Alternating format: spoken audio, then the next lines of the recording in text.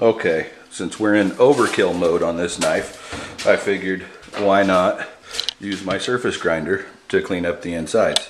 Everything's glued down on there. Um, typically, I wouldn't glue these directly to my plate, but I wasn't thinking real clear this morning. So that's what I've done. These are the plain carbon fiber handles, and I've hot melt glued a bunch of spots around the perimeter of them directly down onto my magnetic plate on my surface grinder. Like I say, usually I would use a sub plate and glue to that, but for some reason I just wasn't thinking real clear this morning. And uh, this step isn't necessary. I could just go to my platen, but I'm still waiting on material and need something to do. And I figured this would be a good demonstration of the belt conversion on the surface grinder. So let me see if I can set this up and we will run it and hopefully you can hear my narration as I go. So I fire up the surface grinder. I'm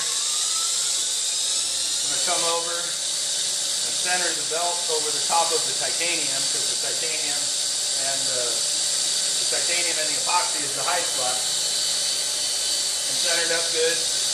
Now I'm going to start down feeding until I get a little spark. And I know I'm down at my surface.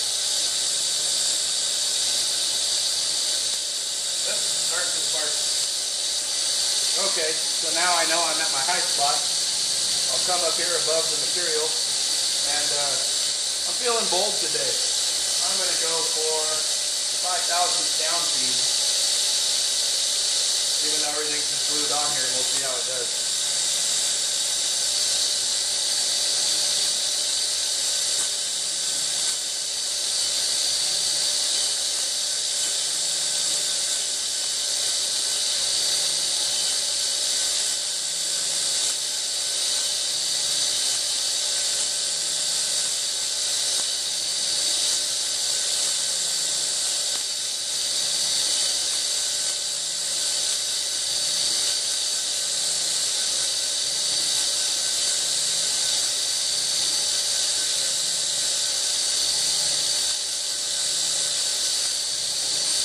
Just starting to touch the carbon fiber, which is what I'm after. I want to get everything nice and flat.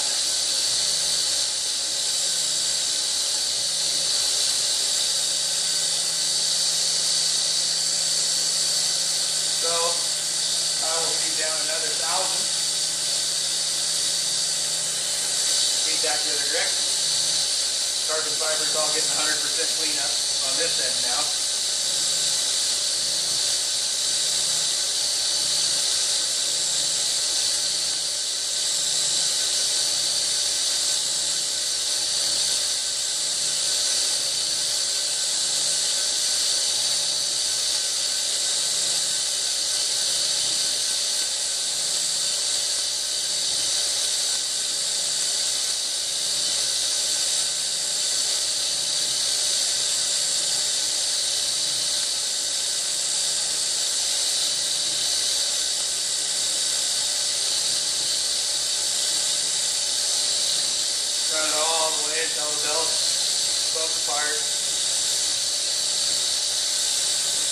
I'm good.